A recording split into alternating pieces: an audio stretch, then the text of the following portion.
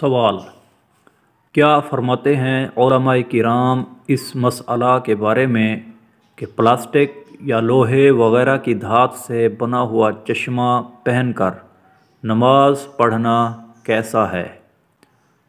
साइल मोहम्मद अरसलान, गुलिस्तान जौहर, कराची। जवाब, बिस्मिल्लाहिर्रहमानिर्रहीम चश्मे का फ्रेम खा प्लास्टिक से बना हो या किसी भी धात से, उसे पहनकर नमाज़ पढ़ना जायज़ है, जबकि नाक की हड्डी ज़मीन पर जम रही हो। सजदे में पेशानी का लगाना फ़र्ज़ है, जबकि नाक की हड्डी का लगाना वाजिब है। इसलिए अगर चश्मा की वजह से नाक की हड्डी ज़मीन पर ना जमती हो या चश्मे की वजह से सिर्फ़ नाक की नोक ही लगाई हो तो तर्क वाजिब की बिना पर नमाज़ पढ़ना मकरूह तहरीमी होगा। यानी इस हालत में पढ़नी गुना और पढ़ ली हो तो उस नमाज़ का अदा यानी दोहराना वाजिब होगा।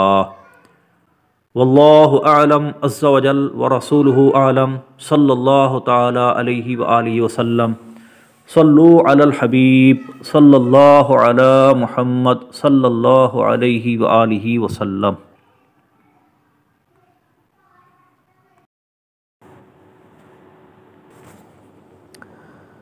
सवाल, क्या रोज़े की हालत में कमरे में मच्छर, मार, जलेबी जला सकते हैं?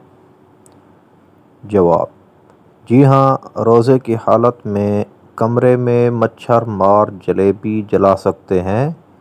इससे रोज़े पर कोई असर नहीं पड़ेगा। अलबत् अगर रोज़ा या धोने के बावजूद मच्छर जलेबी पर नाक रख कर धुआँ खींचा तो रोज़ा टूट जाएगा। रद्दुलमुख्तार जल तीन सफ़ा चार सौ इक्कीस, मकतबा रशीदिया कोयटा